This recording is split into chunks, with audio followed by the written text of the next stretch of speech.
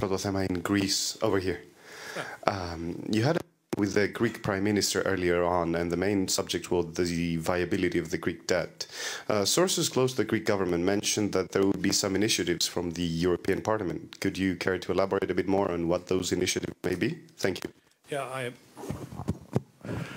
I heard that rumor also, but as President of the Parliament, I am can't answer to that uh, question because I was surprised to listen uh, that there are rumors are there that the parliament would take an initiative. Uh, I spoke with Alexis Tsipras about the situation of the debt, about the ongoing debate in Greece, and the prime minister uh, spoke with me about uh, the discussions the government in uh, Athens has with the uh, European Stability Mechanism, with the International Monetary Fund, with the Commission, with the European Central Bank, uh, with the IMF.